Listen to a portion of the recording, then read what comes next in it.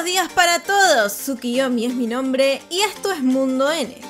El día de hoy te mostraremos el peor juego de Zelda en cada aspecto, es decir, el peor en gráficos, el peor en gameplay, en música, etcétera, etcétera, etcétera. Y nada, ya lo sabes, si te gusta Zelda tanto como a nosotros, te invito a suscribirte al canal y hacerle clic a la campanita. ¡Comencemos! Comenzamos con los controles o gameplay, y debo decir que aquí, aunque el juego tenga muchos adeptos, pues pensamos que el peor es Spirit Track para la Nintendo DS. Ya de por sí, el hecho de mover a Link y usar los objetos con el lápiz táctil no gustó mucho, pero es que aquí encima agregaron el tener que controlar a Zelda, que hace que por momentos todo se vuelva un caos, y a la maldita flauta aquella que funciona cuando quiere. Pasamos ahora a la historia, y sí, no hay peor historia que la de Zelda 1, pues simplemente es ir a salvar a la princesa y ya. No, mentira. La peor historia y por lejos es la de Triforce Heroes, que de verdad es tan poco épica y seria que pareciera que no fuera parte de la saga de Zelda en lo absoluto. O sea, rescatar a la princesa Cursilinda de una maldición que no es más que un traje que le impide ponerse otras ropas, pues no es algo muy poderoso que se diga. Aspecto de la música la cosa está clarita. Y no, no es Breath of the Wild, ya que aunque dicho juego no tenga las melodías clásicas de celdas anteriores, hace un trabajo excelso en la inmersión del jugador dentro del juego. Así que no, el peor en este aspecto, y por mucho, es The Legend of Zelda Four Swords. Es que escuchen esto, por Dios,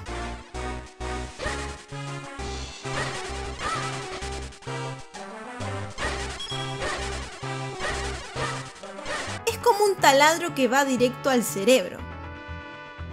Cada juego de Zelda presenta una mecánica que lo hace destacar por entre los demás. En Ocarina intercambias entre ser niño y adulto, en Mayoras el uso de máscaras y el tiempo, etcétera, etcétera, etcétera. Ahora bien, ¿cuál es el que posee la peor de todas? Y bueno, sepan disculparme, pero ese tiene que ser Skyward Sword, con sus controles de movimiento. A mí en su momento me gustaron, pero dense cuenta que son tan controversiales que más o menos el 50% de los que lo jugaron los odiaron. Tan así que en la versión HD para Switch tuvieron que implementar controles normales para solventar esto. Llegamos al aspecto de los gráficos, y como siempre decimos, aquí tomamos en cuenta a los gráficos para la época y el sistema en el que fue lanzado. Aclarado esto, no hay duda alguna que el juego que se vio peorcito para el momento en el que fue lanzado fue el Phantom Hourglass para Nintendo DS. Ya en su secuela directa, Spirit Tracks, mejoraron un poco los modelos, puliéndolos y haciéndolos más suaves, pero en Phantom Hourglass, mamita, aquello es espantoso. Vamos ahora con el aspecto de los ítems u objetos. Y si bien muchos pueden pensar que el peor es Breath of the Wild o el Tears of the Kingdom, ya que prácticamente no hay, pues déjenme decirles que no, dado que hay uno donde literalmente no hay ni un solo ítem que Link pueda usar de forma orgánica en la aventura, y que por ende es el peor, Zelda 2.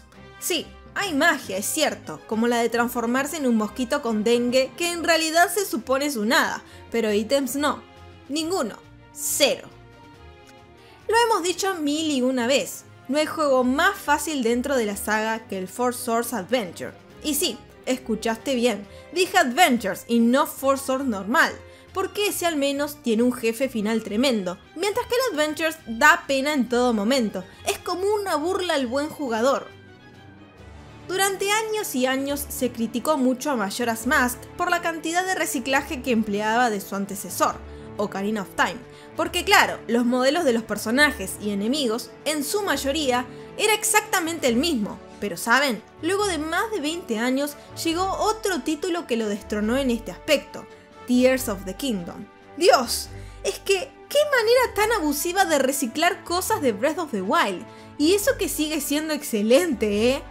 Usa los mismos modelos para la mayoría de personajes, usa los mismos modelos para la mayoría de los enemigos, usa las mismas melodías para el 90% del juego, la estructura de santuarios y torres es casi igual, hay un problema en la zona de los Sora, Gerudo, Goron y Orni, es que por Dios, hasta el mismo mapa utiliza.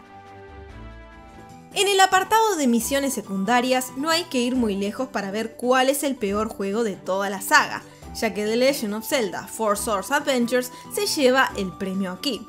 Claro que algún corazón hay por agarrar, pero incluso palidece al compararlo con la versión aniversario del Four Swords normal, que tiene más cosas para hacer. Y hablando de Four Swords, pues entramos al aspecto de la duración, donde al estar catalogando el peor, simplemente lo que haremos será ver cuál es el juego más corto. Y sí, es ese y por lejos. Tan así, y lo hemos dicho 400 veces, parece más bien un demo que otra cosa. Un demo muy entretenido, pero un demo al fin. Los ayudantes en los juegos de Zelda son un pilar fundamental, incluso en los últimos dos juegos. Bueno, sin contar ese cacharro horrible, pero ustedes me entienden. Ahora bien, hay uno y solo uno que más que ayudante parece un anti-ayudante, y es por eso que su juego es el peor en este aspecto. De The Legend of Zelda A Link Between Worlds.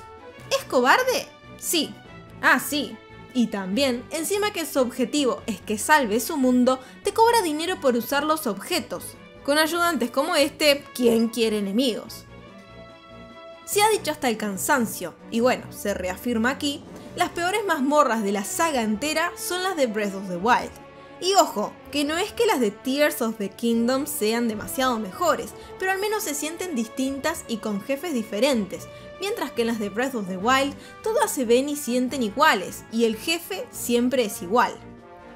Otro aspecto importante de la franquicia son sus jefes, y saben, no hay forma de darle el peor título del juego en este aspecto a otro que no sea el primero de todos, The Legend of Zelda. Algunos los matas de tres espadazos y otros son tan irrelevantes que mientras en una mazmorra son jefes, en otra son simplemente enemigos normales. ¿Cuál es el juego de Zelda con los peores personajes? Vamos, que todos sabemos la respuesta, nada más ni nada menos que Triforce Heroes, un héroe que se la pasa llorando, una princesa en un traje de gatúbela, un caballero con mejor peinado que técnicas de combate, etcétera, etcétera, etcétera.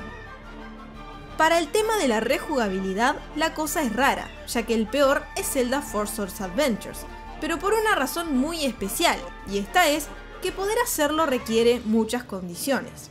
Casi cualquier juego de la saga que quieras volver a rejugar, puedes hacerlo fácilmente. Aquí, sin embargo, necesitas que se alineen los astros para poder juntarte con cuatro amigos que todos tengan la consola y el juego para poder hacerlo. Que se entienda, los secretos de Zelda Oracle of Ages y Oracle of Seasons son buenos, pero son el peor juego en este aspecto por algo parecido a lo anterior. Para poder conseguirlos a todos necesitas de varias cosas, como comprar ambos juegos, una serie de passwords importante y varias cosas más que para la época no eran sencillas de conseguir. Y terminamos con el peor spin-off de Zelda, nada más ni nada menos que un juego de Tingle. Pero no, no uno cualquiera, sino que el mítico Tingles Balloon Fight, el cual, como se ve, no es más que una especie de Balloon Fight, pero con el icónico personaje.